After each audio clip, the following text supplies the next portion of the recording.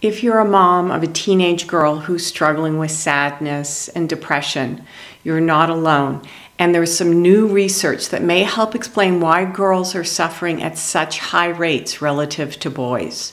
So, a study out of London that was just published showed that girls' brains may process a common nutrient called tryptophan in a way that's actually harmful. Instead of using it to make neuroprotective compounds that support mood and brain health, some girls' brains convert it into a neurotoxic substance for the brain.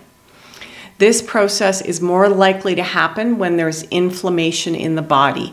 And sure enough, the girls showing this brain chemistry also had blood work showing signs of inflammation and were more likely to be diagnosed with major depression. Researchers say this shows a real biological reason behind the mental health crisis in girls. It's not just emotional, their brains and their bodies are responding to hidden stress and inflammation in a way that may make depression more likely and harder to shake. The research also revealed something critical. These changes can start before full blown depression appears. That means that some girls may be silently heading towards depression without obvious warning signs.